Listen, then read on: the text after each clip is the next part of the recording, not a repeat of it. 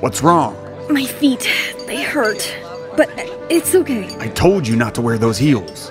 Come, sit here. I'm okay, Bryce. You're clearly not. Let me have a look. Get me a medical kit right now. Can't you take care of yourself even a little bit, Natalie?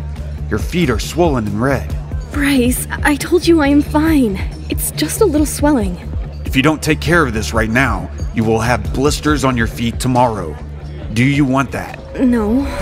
Just look at them, Samuel. Uh, uh. I have never seen Bryce this way with another woman.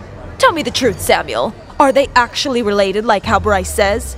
Or is there something else going on between them? I think you should talk about this to Bryce himself, Vivienne. You are hiding something from me. Stop being Bryce's friend and be my friend for once. Look, Vivienne, I don't know what to tell you. Bryce is.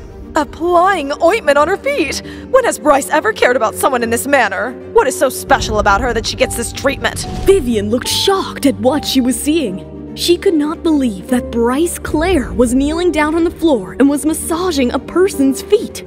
But what irked her the most was that this person was another girl and not her. Bryce, I can do that myself. Just sit still. It's almost done. I need to find out what's going on between those two. And why is this woman so important to Bryce Claire? Will Vivienne learn about Natalie and Bryce's secret marriage? Will she confront Bryce about this? What will this mean for Natalie? To unlock the next episode, download the Pocket FM app or wait for 72 hours. Link is in the description.